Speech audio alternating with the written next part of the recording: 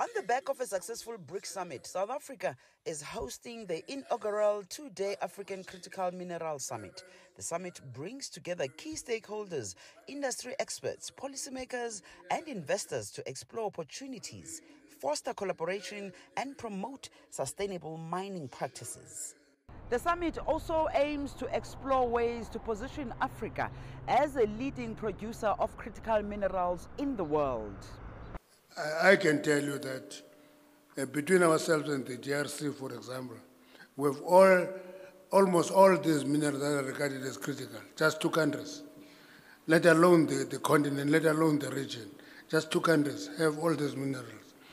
Like, for example, uh, the fact of the matter is that Africa holds enormous reserves of minerals such as platinum, we're leading, manganese, we're leading, vanadium, we're on the top, nickel, copper, cobalt, lithium, graphite, titanium, rhodium, and other rare earth minerals.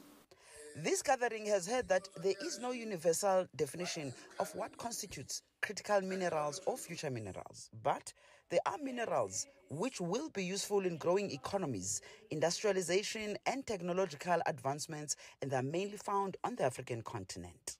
Some of the critical minerals that the world cannot do without that are found in Africa are 48.1% of global cobalt reserve are in DRC, and they account for over 70% of global supply of cobalt in 2021.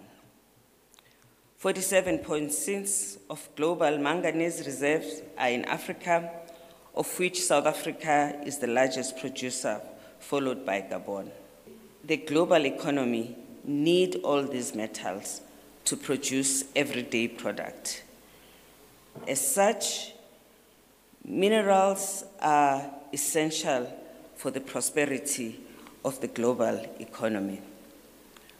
With our critical mineral reserves, our continent has a potential to become a major economic role player in the global economy. Through strategic partnerships and investments, we must leverage our minerals endowments to attract new industries and businesses into the continent, creating jobs, encouraging skilled employment, the creation of wealth, and a better life for all citizens. Experts here also asserted that the African continent is endowed with the critical minerals necessary for developing cleaner energy and medicine, but will remain price takers if it's not united like oil producing countries who set the price and production levels for Brent crude oil. Yolisa Njamela for CGTN in Johannesburg, South Africa.